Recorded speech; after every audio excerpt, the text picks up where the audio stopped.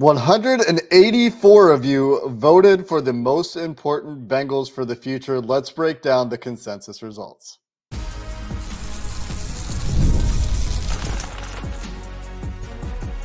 You are Locked On Bengals, your daily Cincinnati Bengals podcast. Part of the Locked On Podcast Network, your team every day. What up, Bengals fans, and welcome to another episode of the Locked On Bengals podcast. I'm Jake Liscow. He's James Rapien. We're continuing our top 15 or so most, most important Bengals for the future series with the consensus top 15 or so and the public voting results. We're part of the Locked On Podcast Network here on Locked On Bengals, available on YouTube and everywhere you get your podcasts. If you're new to the show, you can subscribe, and that'll make it really easy to join the Everydayer Club. And shout out to all of you who make us a part of your everyday routine and all the people out there who make us their first listen of the day. Appreciate all the regulars so very much. And James, 184 votes, 184 lists, and shout out to Neil Engelberger for helping us to compile this data as he does in draft season as well. The guy is a, a spreadsheet elite. He's really, really good at helping us get this data in. And 184 of you, like I said, voted on the most important Bengals for the future. And there are some surprises here, James. There are. There's some. Su- consider what the public thinks here. For sure. There are some surprises. And the first thing that stands out just looking at at some of the percentages, how is Ja'Marr Chase not in the top 5 always? And yet there are some that didn't have Ja'Marr Chase in the top 5. Uh, what we can agree on and I thought it would be that for sure, top 5 for sure, right? Even though I would certainly have him too. Joe Burrow is number 1. So the consensus ranking there everyone got that one right. No one tried to be edgy. No one put Jake Browning. We didn't see any weird. So, so I guess that's the one thing. But outside of that, you're right. 184 plus our panel of five. So 189 total votes. And you look at them, and everyone has a disagreement here or there. And that's what's fun about this is there's no perfect formula. There's no perfect answer and it's going to be fun to break down uh, the top 15ish today and, and, and show our listeners exactly where they're at, where the their 15 ranked uh, compared to the consensus rankings. Yeah, and it's interesting because everyone interpreted the prompt a little bit differently, and we'll talk about some of those takeaways later.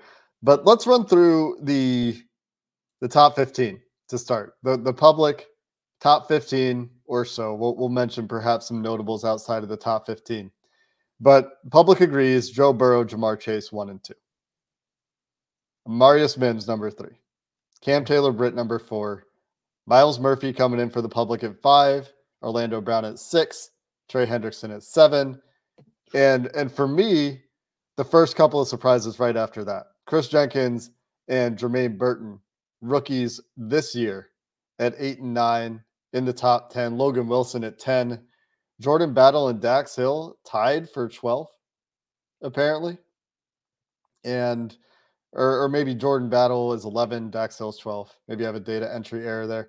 Da, uh, DJ Turner 13, Tee Higgins 14, Chase Brown 15, rounding out the top 15 from the public. Some guys that that you liked, James, a little bit more than the public, notably like Geno Stone, all the way down at 17 in the public rankings. You had him at 11. Sheldon Rankins, all the way down at 21 in the mm-hmm. public mm-hmm. rankings. You had him at nine. I had him at 14.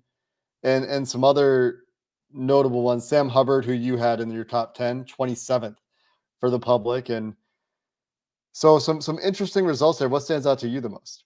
Well, let's talk about Jordan Battle because he's 12th, 12th, right?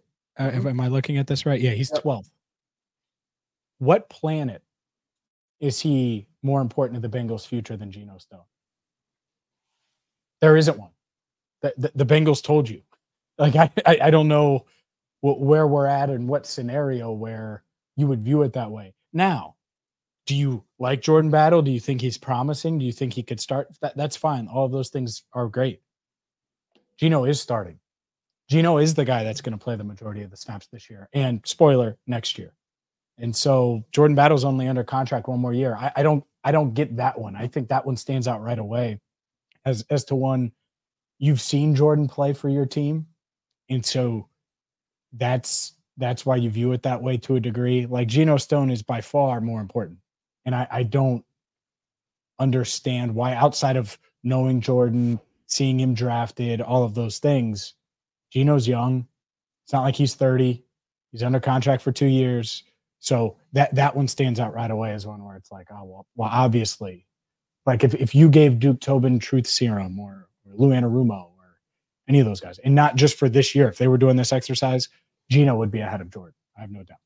I think this is where the word future comes into play to a significant significant degree for the public.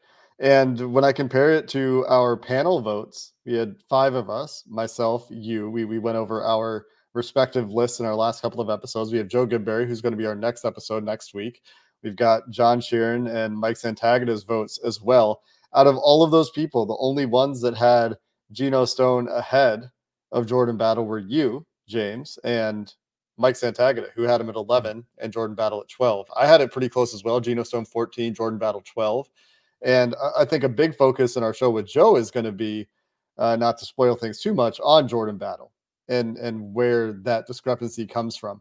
So I don't want to give away too much of what our panel had to say because we're going to talk to them individually. But in addition to the public being higher on Jordan Battle than Geno Stone, so were so were most of our voters. Uh, you were obviously the the biggest exception here. You have Geno Stone the lowest out of any voter by by a significant margin. Or sorry, no, no, no. Jordan Battle the lowest out of sure. all of these uh, out of out of these players by by a significant margin to any of our other voters. And I, I imagine the reasoning there is what you just talked about is your perspective on Jordan Battle versus everyone else seeing it as anticipating that he will be a future starter for some amount of time and really focusing on the word future to a large degree there. Yeah, I that's so if he starts for 2 years, he's not starting this year. So if he starts for 2 years, then that matches Geno Stone. Like I just I don't see the formula there. And the other part is it's a safety.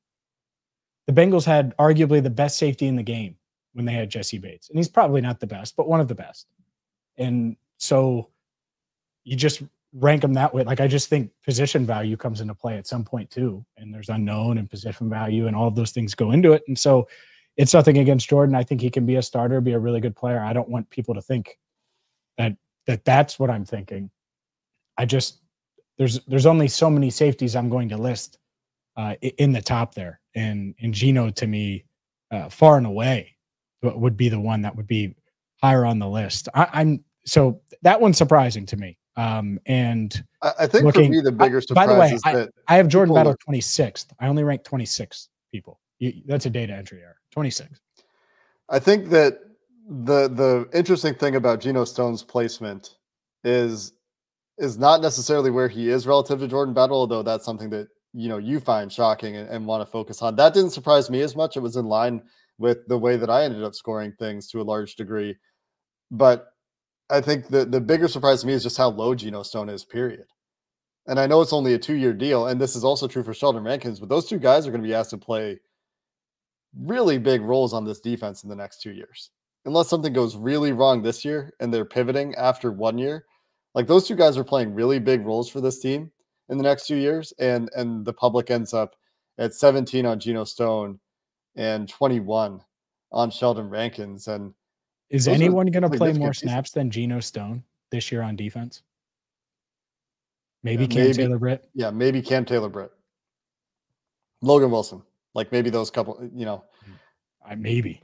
Maybe Logan. I don't even think Logan though just to give you an idea of where I'm coming from. Like he's pretty important. That's all. And and again, here is where there's I think a methodology difference of future versus present, where we go back to your episode where we talked about your your methodology. It was very much focused on the things that we can anticipate realistically versus trying to project things into the future where a lot is there a future where Jordan Battle plays 95% of the defensive snaps for a year? Clearly, I think a lot of people think there is. I Okay.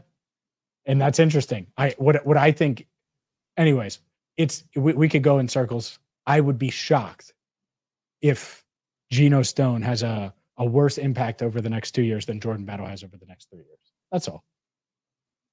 A lower impact, uh, whatever you want to say, whatever adjective you want to use.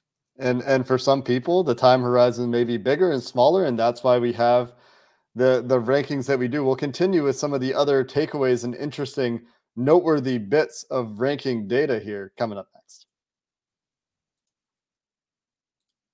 Today's show is brought to you by Gametime. Game Time is the app you need to get to right now. So you can go to Great American Ballpark whenever you want to. Maybe you're hanging out at the banks and you decide you want to mosey on over to GABP. Maybe you're planning to go to Great American Ballpark to watch the Reds this summer. Well, whether you're planning in advance, whether you're going to go spur of the moment, Gametime is the app you need to find last minute deals, plan in advance. You get views from your seat. They have a lowest ticket price guarantee.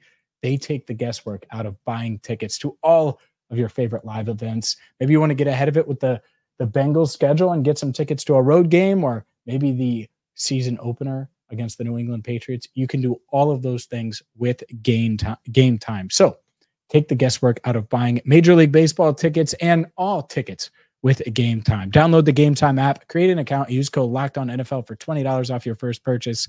Terms apply. Again, create an account and redeem code L O C K E D O N NFL for twenty dollars off.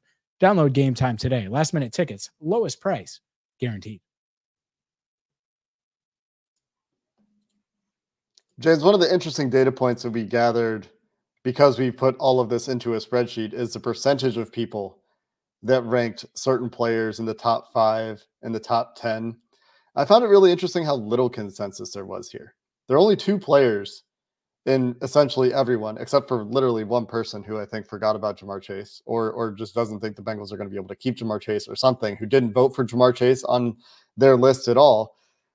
Joe Burrow consensus number one. Everyone did it. Ja'Marr Chase essentially everyone's number two. Those two guys are in everyone's top five. After that, there's not a whole lot of agreement. There's agreement in the top 10. There's two other players that are in 94% or higher of respondents' top 10s in Amarius Mims and Cam Taylor Britt. But even after that, the next most consensus top 10 player is Myles Murphy getting 75% of top 10 votes. When you look at top fives, it's still Amarius Mims and Cam Taylor Britt for the next two at 78% and 62%. But not a whole lot of consensus on the top five guys because after Cam Taylor Britt, you go down to 38% for, mm-hmm. for number five. So when considering number five, number six, for a lot of people, are number four, number five, not a whole lot of agreement there, which I found to be very interesting. That you know fans had a pretty easy time eh, agreeing on the top four, three or four guys, but after that, a lot of divergence of opinion, even at the top. Sure, there there is, and really, I think you could go a bunch of different ways at three on. I think the top is very clear. It's one, two, and then after that, you you could really like you could make the argument for Cam Taylor Britt, Amarius Mims, Myles Murphy, Orlando Brown Jr., Trey Hendrickson. Uh, you could make the argument for Tee Higgins. You could like there's like eight guys there, and I, I think that there's certainly tiers. You, heck, you could go with Logan Wilson if you want with his contract and how long he's under contract for. A bunch of guys that you could make the argument for. I I was a bit surprised at because Orlando Brown Jr. is under contract for three years mm-hmm. and 68% in the top 10. I really don't know of a scenario where you wouldn't have him in the top 10. And yet, what? How, how many people had him? Well, I guess what top five and top 10 was was not. Am I reading this wrong? I'm reading it wrong. Never mind. So most people had him in their top 10, but it's it's something where like clearly I would have him ahead of Myles Murphy right now. Uh, I would have I would have Orlando Brown Jr. neck and neck with Amarius Mims, and we discussed mine, but that, I, I, was surprised by that a little bit. I, I think that it must be uh, some people don't think Orlando Brown's very good. Judging from one YouTube commenter and, and just looking at some of the individual lists that didn't rank him at all, it is about 40 entries that did not put him in their list at all. Where perhaps in their list at all? Yeah. So yeah. I am reading this right. Okay. You're, so I did read it right. right. Yep. Okay. that that Ooh, there there must be people who just don't think he's very good that think that was a mistake of a contract and actually go to our YouTube comments uh, from our first episode on this. And and one of the comments was like, I don't understand how Orlando Brown's in anybody's top 10. He might be in the top 10 most overrated. So so that sentiment um, does exist. so he's the new Bengals fan. Jonah. Like he's going to be the new Jonah that gets. But- okay. But here's the thing, like whether or not he's good, this goes back to my rationale from the first episode. The Bengals are paying him a lot of money and he's going to see most likely all of that contract and he's going to start at left tackle for the entire time. Is your starting left tackle not one of the most important players on the team for a team that wants to drop back pass as much as the Bengals do? That would be my rationale for seeing him as a unanimous top 10 guy. Is he just? a Did he make it to a bunch of fake Pro Bowls? I mean, I you know I that's what I would say. Like clearly he's good. I mean that's pretty factual. I don't now. Did he have his best year last year? No. Was he playing with the groin issue? Yes. Should he be better this year? We certainly hope so, and I would expect him to be, and I'm sure he expects to be. So that that's where where it's tough. Like just going back to battle, it's real easy to be like, oh yeah, Orlando Brown Jr. clearly overrated. Jordan Battle, young up and comer, going to be a star. Like it's because the sample sizes are small from what a lot of people have seen, and so that's that's what we remember. Like everyone thinks Dax Hill's bad right now, right? Because the last thing they saw was him struggling at the end of last year. They don't remember the, the beginning of the year, and so that that is that is is shining through a little bit here, at least with the Orlando Brown Jr. thing, because Yeah. him not being in the top ten, he is much like Ja'Marr should be two and Joe should be one on every list. Orlando should be on every top ten list. Period. I, I don't really know how he wouldn't be. And and you know, Kris Jenkins not on a very different number of top 10 lists than Orlando Brown. And that's, a rookie. Wild. which like I, I get the projection there like you're expecting kris jenkins to be you know maybe dt1 relatively soon and and and to be that guy if you're ranking them that way but there's a lot of ifs there and and a lot more known with orlando brown. You know barring something crazy he's going to be the starting left tackle for the next three years uh, another thing that I thought was interesting here that I, I wanted to cover in the public voting before we get to our uh, our panel's consensus and, and some takeaways to finish up the show is Tee Higgins and Trey Hendrickson, a couple of guys that did not appear in a lot of lists because there's not much belief that they'll be part of the team for for the distant future. Although Trey does still have two years left. Uh, Trey Hendrickson in 46.7 percent of top tens, but for people who did rank him, interestingly, and, and I think there's some weighing happening here. He ends up sixth.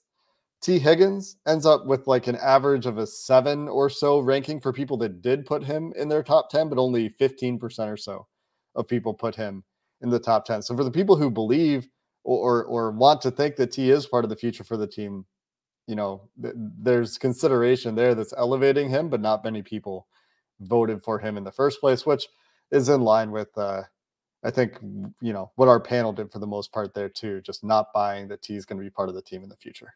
Yeah, I just let's use Trey. Trey's easier because he's under contract for two years. Mhm. How many guys? And I think Kris Jenkins is going to be really good. This goes back to my Jordan Battle thing. It's it's like the same mindset, same concept. But with Trey, no one debates how great he is. How many guys on this roster are going to make the impact that Trey makes over the next two years, or that we expect him to make in their career? Let's not even do this window or rookie contracts or in their career. Because if he gets 30 sacks over the next two years and is the the Bengals' number one pass rusher, which we expect him to be, or 32 sacks or whatever you want, he's had 40 over the past three years. Like there aren't going to be many guys that have that kind of impact over eight years that he does in two years. And I think that's that's just again a viewpoint, but why I I was so high on Trey when I gave my list. When you have like a high end Pro Bowler at a position for two years, it's hard to imagine guys coming because because that's rare. It's hard to find players like Trey Hendrickson. Teams in the NFL have generally what two to seven players at that level. The ones that have seven players playing at that level are the teams that are really going hard in the playoffs and going deep in the playoffs. Generally, probably have a QB on a rookie contract and have been able to add uh, that caliber of player in free agency, or have been very lucky in accumulating draft talent. But uh, it's rare to find players at that level, at Ja'Marr Chase's level, at Joe Burrow's level, which is why, from like a quality in one year, those guys were, you know, my clear top three, for example, in a one year importance sample. But I, I do think that's interesting how much focus there was on the future in this list. We'll wrap up with our consensus, our, our panel's consensus, and some takeaways here to finish up this show coming up next.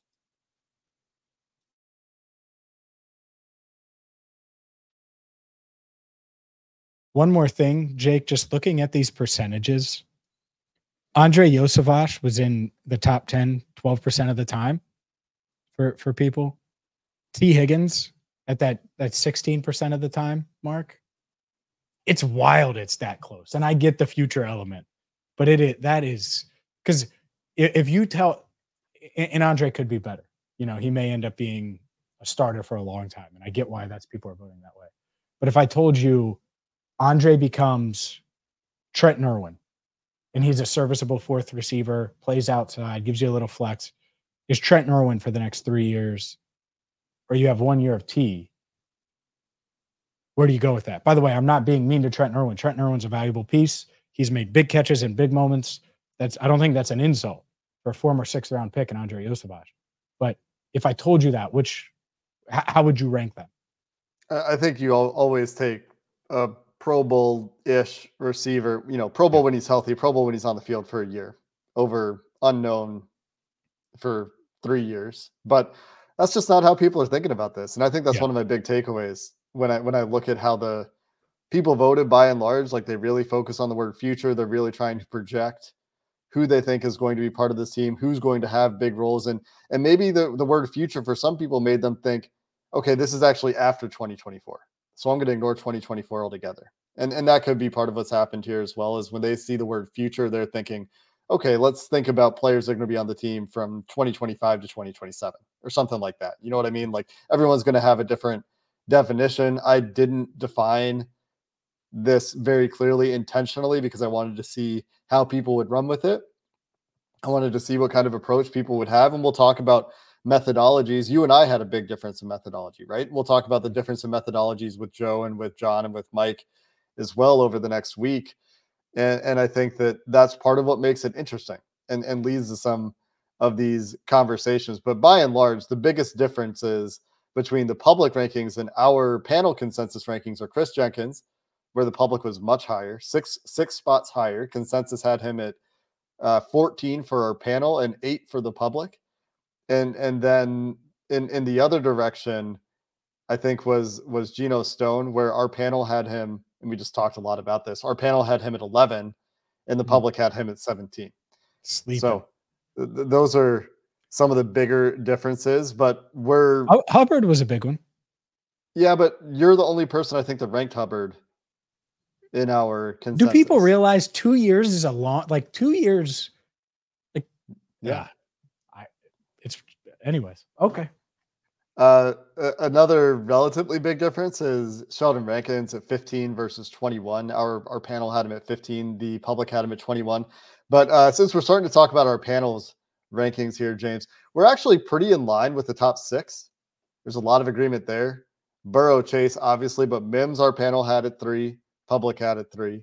Consensus for number four in our panel was Cam Taylor Britt, which agrees with the public. And then we flipped Orlando Brown and Myles Murphy. Our panel had him at six, and the public had him at five. Orlando Brown was at five for us. The public had him at six. And then things get a little bit divergent. Logan Wilson for our panel was seven, for the public was 10. Trey Hendrickson for our panel was eight, very similar to the public's seven. DJ Turner for our panel was nine was 13 for the public. Tee Higgins was 10, 14 for the public. Jermaine Burton 11, 9 for the public. Geno Stone 11, 17 for the public. Mentioned that one already. Jordan Battle at 13 for our panel. You were way lower on him than anyone else. Like we said, we're going to talk about that a lot. Probably with uh, Joe coming up in our next episode was uh, 12 for the public. Kris Jenkins 14 for us, 8 for the public, and Sheldon Rankins rounds out our consensus panel top 15 at 15 versus 21 for the public. Dax Hill, right outside of our top 15. I was the highest on him out of anyone by a lot. I had him 10th. Our panel consensus has him at 16th. Yeah, I had him at 18. I had Rankins. I was the highest on Rankins. I had him at nine. Highest on Kappa as well for our panel. Had him at, at 12. The public had him at 23. hmm Bold prediction. That one will change for the public. You, you think He's he's, getting extended? He's gonna he's well, he's just gonna have a big year. He's gonna be good this year. And he has two I just- years left, right? Yep. A- And eh, that that's also a unique thing with that I didn't do that I think people did. Is they're like, oh, well, he's a rookie. Give him a bump up. He's going to be here longer. And, and that's fine. I get it.